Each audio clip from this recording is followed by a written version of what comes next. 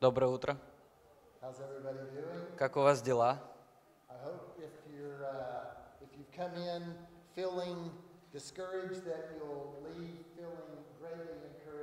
Надеюсь, что даже если вы пришли разочарованными или расстроенными, то вы уйдете радостными и наполненными благодаря Божьему присутствию.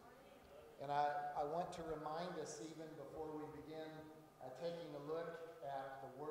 Э, Я хочу кое-что напомнить, прежде чем мы перейдем к Слову, что в любом месте, в котором присутствует happen. э, любые вещи, которые пр- происходили в Его присутствии физическом, могут все еще происходить. Слепые глаза могут открываться. Если у вас есть болезнь в теле, она может быть исцелена. Если в душе горечь или печаль, вы можете быть ободрены радостью Господа. Если у вас есть грех в жизни, вы можете быть прощены. Любая нужда,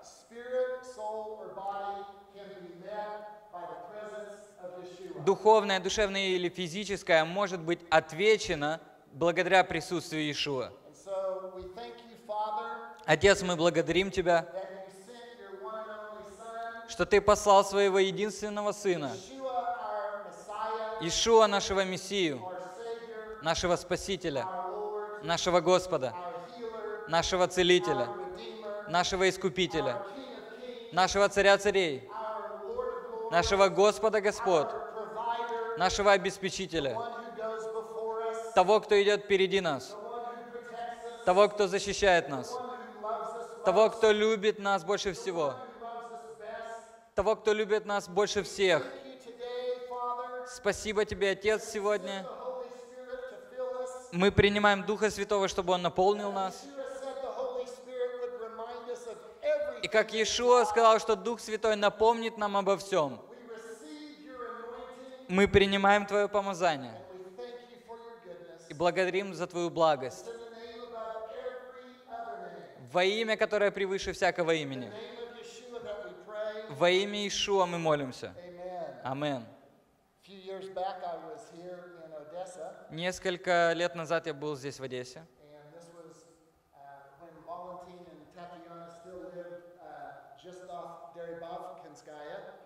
И это было, когда еще Валентина и Татьяна жили на Дерибасовской. И в то время у меня еще были волосы на голове. And so I was living in Denmark at the time, Э, В то время я жил в Дании. Я покрасил волосы и был таким блондином. И Валентин знал, что мне понравилось нравилось красить волосы. said, "Oh, John,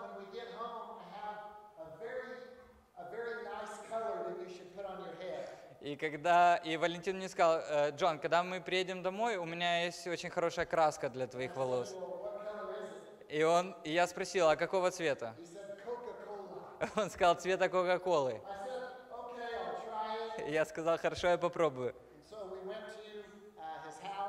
Мы пошли к нему домой.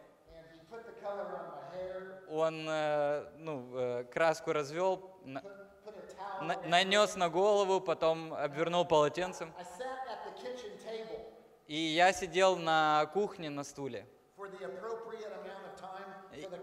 work. и ждал э, назначенного времени, чтобы краска впиталась. И потом Валентин сказал, все, пора. Он снял полотенце,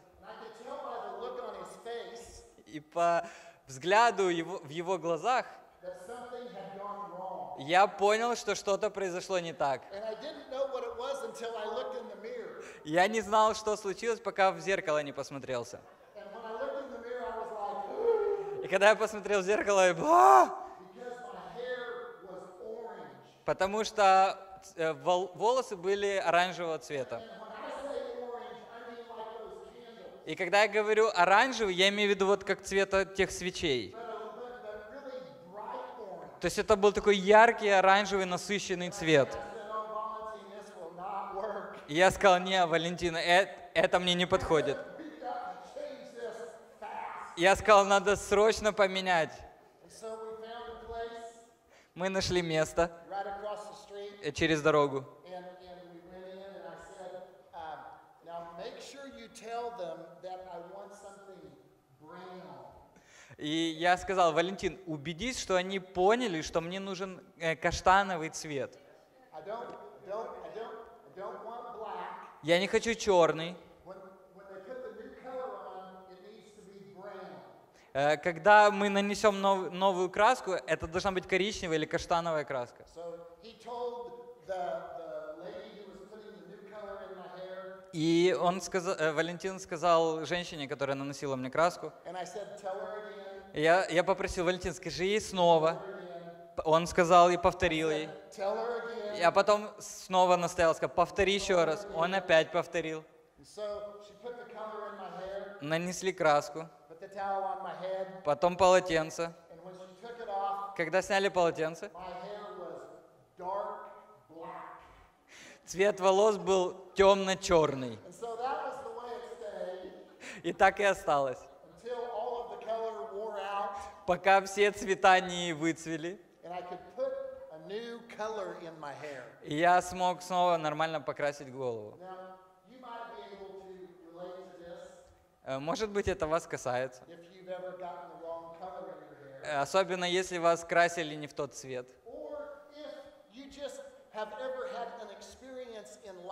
Или же у вас был опыт жизненный, когда вы говорили, что так не пойдет. Мне нужно что-то новое. Мне нужен новый день. Э, Мне нужно, чтобы что-то новое произошло в жизни. И вы доверяете Господу, чтобы Он изменил все. All of us go through life and have experiences Каждый из нас проходит жизнь и имеет определенный опыт. that we think, I wish it was a different color. И иногда мы говорим, что я бы хотел, чтобы был другой цвет и другой запах. Я мечтаю, чтобы э, вещи и обстоятельства не были такими сложными. И я бы не хотел, чтобы было столько неопределенностей.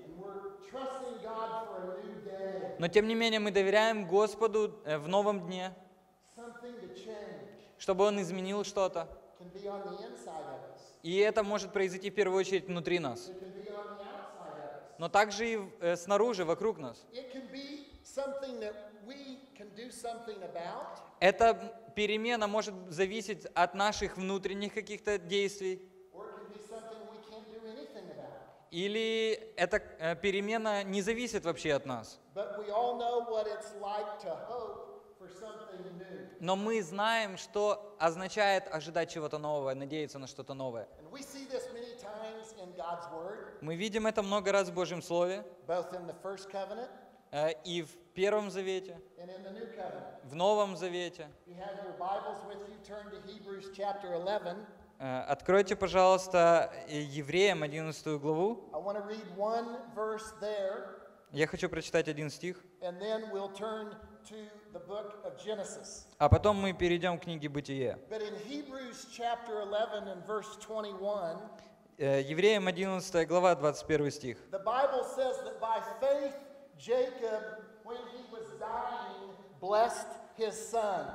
Там говорится, что благодаря доверию Богу Яков, умирая, благословил каждого из сыновей Йосефа. And he worshiped leaning on his staff. И при этом поклонился в молитве, опираясь на свой посох.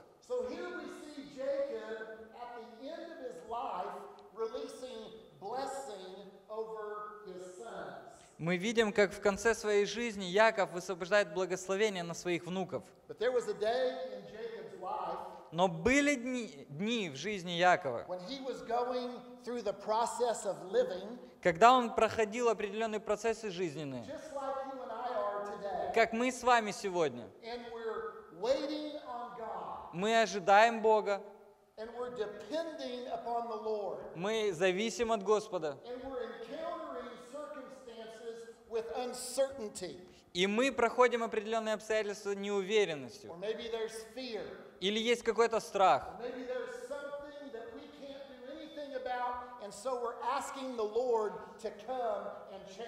Или мы понимаем, что мы ничего не можем сделать, поэтому мы просим Господа, чтобы Он вошел в эти обстоятельства и изменил их.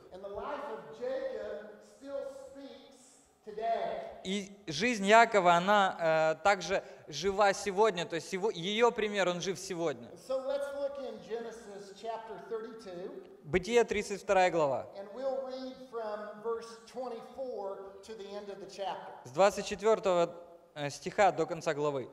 «И взял их и перевел через поток, и перевел то, что у него. И остался Яков один, и боролся человек с ним до восхода зари, и увидел, что не отдаливает его, и коснулся сустава бедра его, и вывихнулся сустав бедра Якова, когда он боролся с ним. И сказал, отпусти меня, ибо взошла заря. Но он сказал, не отпущу тебя, пока не благословишь меня. И сказал тот ему, как имя твое? Он сказал, Яков. И сказал, не Яков, отныне имя тебе будет, а Израиль, ибо ты боролся с ангелом и с людьми и победил. И спросил Яков, сказав, скажи же мне имя твое. И он сказал, зачем спрашиваешь об имени моем, и благослови, ибо оно дивно. И благословил он его там. И нарек Яков имя тому месту Пенуэл, ибо ангела видел лицом к лицу, и жизнь моя спасена. И засияло ему солнце, когда он проходил Пенуэл, а он хромал на бедро свое. Поэтому не едят сыны Израилевы сухой жилы, которая из сустава бедра до нынешнего дня, потому что коснулся тот сустава бедра Якова. Аллилуйя.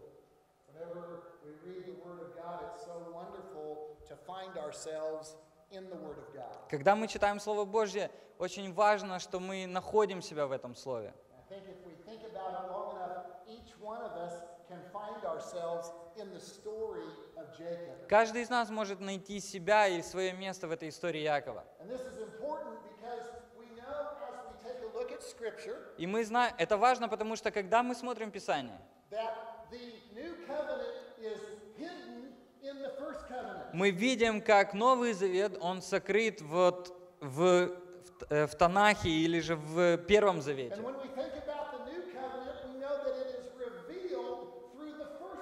И мы, мы понимаем, что Новый Завет, он также открывается через Первый Завет. То есть есть что-то в жизни Якова, что дает нам понимание или большее понимание того, как ходить нам в Новом Завете. Если вы помните Jacob? э, историю Якова, From his birth until his death, то с самого его рождения до его смерти он э, стремился к тому, чтобы познать Бога.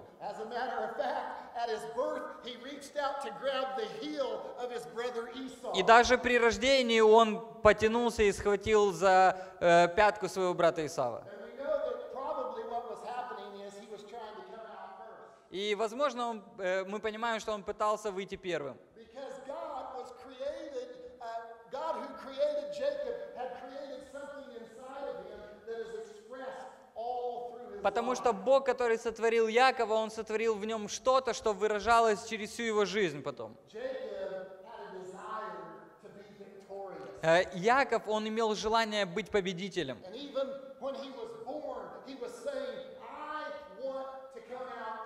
И даже когда он рождался, он сказал, что я хочу выйти первым. Если э, пропустить как бы не- несколько дней его жизни, э, заглянуть вперед, э, вы помните ситуацию, когда уже э, они были взрослые, братья, и когда Исав пришел голодный с поля, и Яков приготовил похлебку.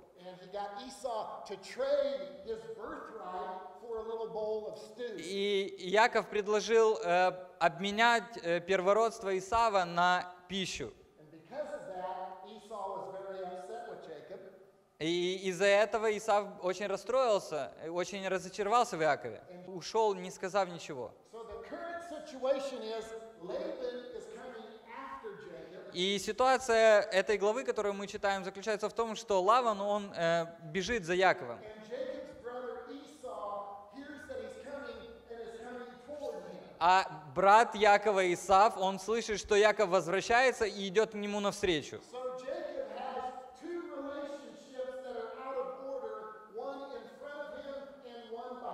То есть у Яков находится посередине между э, отношениями, которые нарушены. Одни впереди его ждут, а другие позади.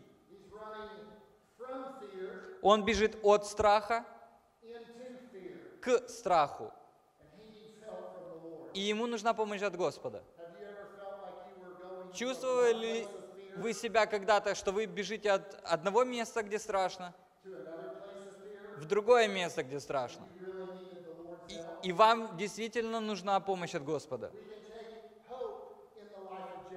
Но мы можем извлечь надежду из жизни Якова.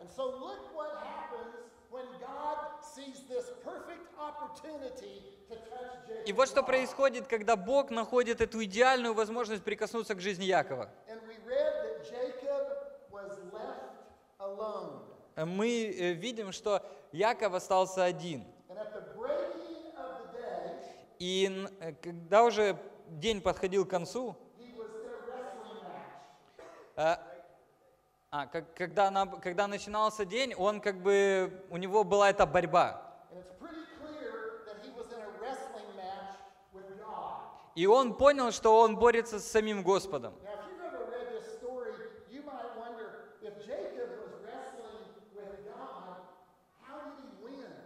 И вы не задумывались никогда над таким вопросом, если Яков боролся с Господом, как он одержал победу? Как получается, что Яков был сильнее Господа? Потому что мы только что ведь прочитали это. Тот, кто боролся с Яковом, сказал, отпусти меня. А Яков сказал, не отпущу. Не отпущу, пока не благословишь меня. Я верю, что Господь хочет, чтобы мы были как Яков. Чтобы мы говорили Господу, я никогда не отпущу тебя, пока не благословишь меня всем, кем ты являешься. Чтобы я стал всем, кем ты есть. И я верю, что Господь вложил это в Якова от его рождения и в- э, до конца его жизни. More than we want to be blessed by him. И э, Бог даже хочет, чтобы мы были благословлены им больше, чем мы сами этого хотим. И очень часто мы считаем, что все зависит от нас. Истина же заключается в том, что все зависит только от Господа. И когда мы сдаемся живому Богу, in our lives that can only happen when we're fully surrendered. Что-то происходит в нашей жизни, которым, э, то, что может произойти только тогда, когда мы полностью отдаемся Господу. И Яков сказал, не отпущу тебя, пока не благословишь меня. И это реальность, в которой Господь хочет, чтобы мы ходили. Because just Так же, как Яков, он боролся перед наступлением нового дня. Господь тоже и нам хочет дать этот новый день или но- восход нового дня. Поэтому я хочу сегодня провозгласить для вас в ваших обстоятельствах сегодня, над той реальностью, в которой вы живете, что это восход нового дня в Господе. Мы не должны бояться прошлого, вы не должны бояться будущего, потому что когда вы наедине с Господом, Его благословение придет к вам. Он вложил это в ваши сердца, так же, как в сердце Якова, чтобы приобрести Его благословение. Еще кое-что случилось, когда Яков находился наедине с Господом.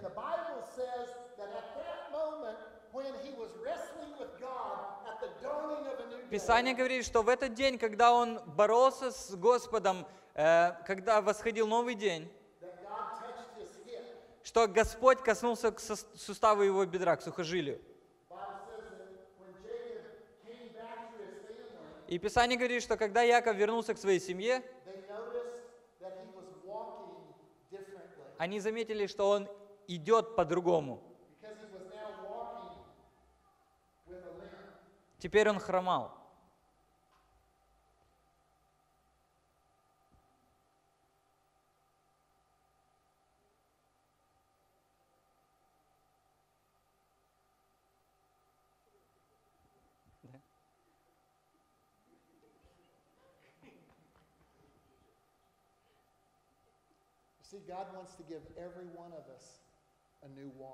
Господь хочет дать каждому из нас новое хождение. Э, Очень часто мы считаем, что мы должны быть сильными. Очень часто мы считаем, что мы должны выглядеть идеально, действовать идеально, быть идеальными и доказывать э, что-то о себе. Но знаете, чего Бог желает? Господь хочет, чтобы мы сдавались Ему, позволяли Ему касаться нас в наших слабостях. Я хочу вам сказать сегодня, вы не должны быть идеальными, потому что совершенен только Господь. Все, что вам нужно сделать, это сдаться Господу в ваших э, слабостях. Апостол Павел говорит, что когда я слаб, Он, он становится сильным во мне. Что когда я чувствую, что я э, низко. Он может поднять меня. Я не говорю, что мы должны оправдываться, когда мы поступаем неправильно. Because we never do evil so that good may come. Мы не, мы не должны делать зло для того, чтобы проявилось добро. Но когда мы совершаем ошибку, когда мы грешим, когда мы слабы. Господь становится сильным в нас. И тот же самый Бог, который встретился с Яковом, встречается с нами сегодня, дает нам возможность.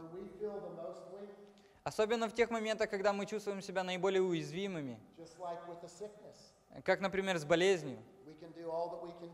Э, Мы, мы можем делать только то, что, на что есть силы, но мы не можем сами исцелить себя. Только Бог может это сделать. Э, Как проблема, которая постоянно всплывает в нашей жизни. where we say to God, God, if you'll just do this, I'll never do that again. И мы иногда говорим, Боже, если ты сделаешь вот это, то я больше не буду так поступать. Говорили ли вы э, такое Богу когда-либо? Боже, если ты меня вот так-то благослови, что больше я не буду поступать вот так. Бог вас благословляет, а вы снова продолжаете делать то, что вы обещали не делать. И снова поступаете так. Потом приходит враг и говорит, Бог тебя не любит, ты недостаточно хорош, ты, у тебя никогда не получится. А кем ты себе возомнил? Ты не заслуживаешь просить у Бога ничего больше. И мы начинаем соглашаться с врагом. И мы чувствуем себя самым худшим человеком, когда-либо жившим на земле. Так же, как Иешуа сказал той женщине, которая взята была в прелюбодеянии. Он говорит нам сегодня, где твои обвинители? И я тебя не обвиняю. Встань, сдайся, встань, встань, иди и больше не греши. Потому что Он любит нас. Потому что Он хочет, чтобы мы по-новому ходили с Ним. Если вы думаете, что вы заслужите Его любовь тем, что будете улучшать себя, то у вас совершенно неправильное мышление. Потому что Он не пришел для тех, кто могут сами улучшать себя.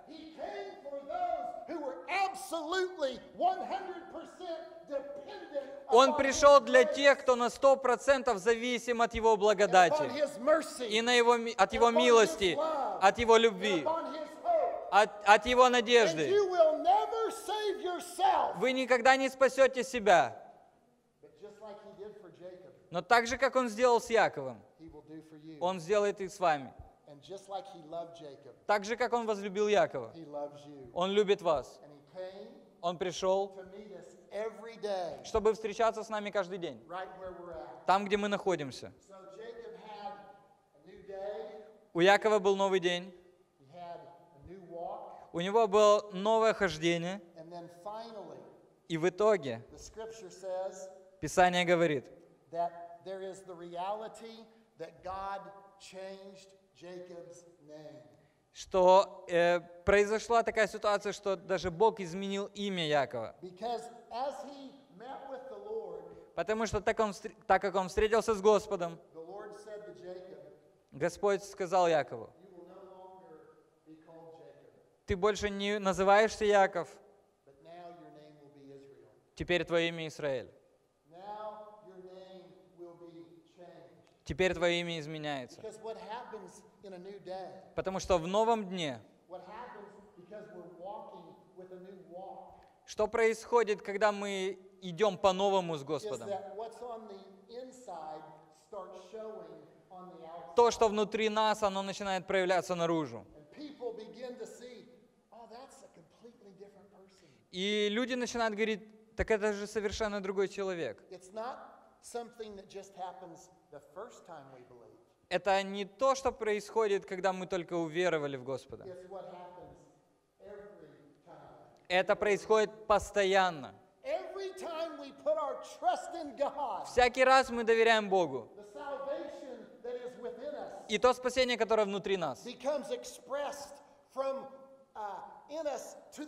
оно выражается наружу. Люди начинают это видеть.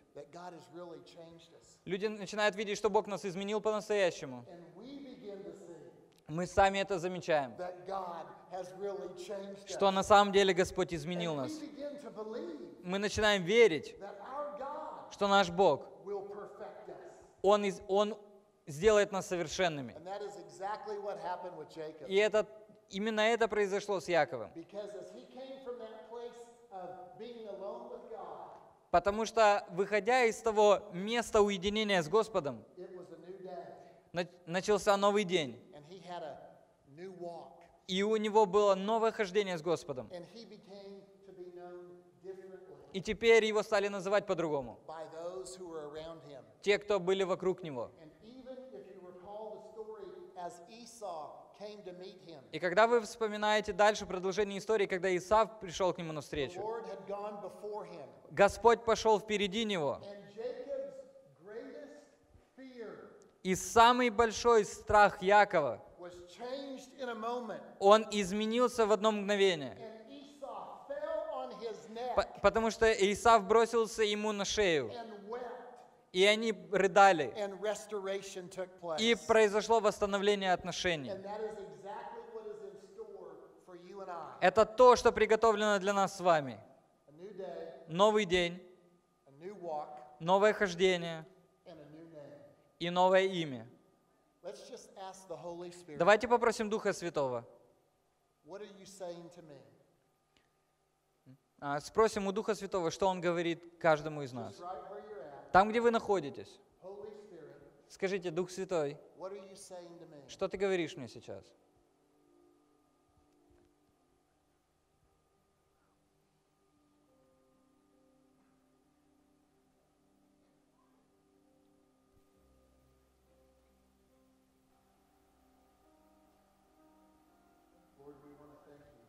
Господь, мы хотим поблагодарить Тебя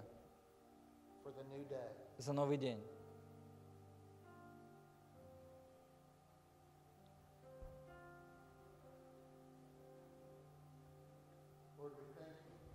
Господь, мы благодарны Тебе, что Ты не только дал, дал нам новый день,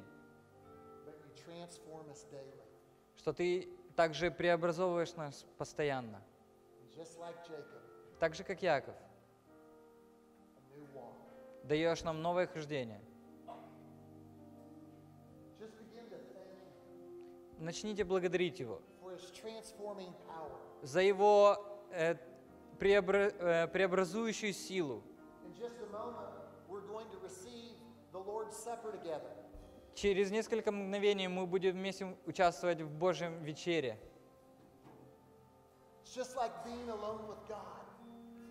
Это как пребывать наедине с Господом, где происходит исцеление для тела, исцеление души,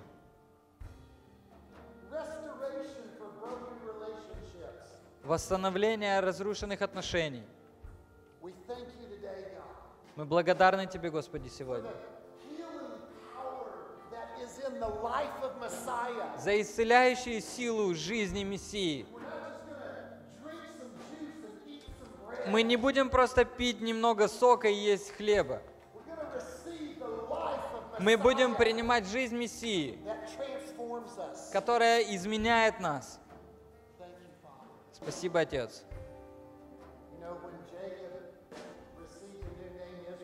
Когда Яков получил новое имя Израиль, это повлияло на целый народ. Спасибо, Отец, что через свой народ ты через своих людей ты можешь оказать влияние на весь народ. Спасибо, Отец, что когда мы доверяемся Тебе, сдаемся Тебе, целый народ может измениться. Господь, когда мы взываем к Тебе, когда мы взываем к Тебе об Израиле, когда мы взываем к Тебе об Украине, когда мы взываем к Тебе о всех народах этой земли, когда дни будут проходить, Господь, измени народы, Господь, земли через Твоих людей. Мы благодарны, что нет ничего невозможного с Тобой, Господи. И мы снова сдаемся Тебе сегодня и благодарим. Аллилуйя.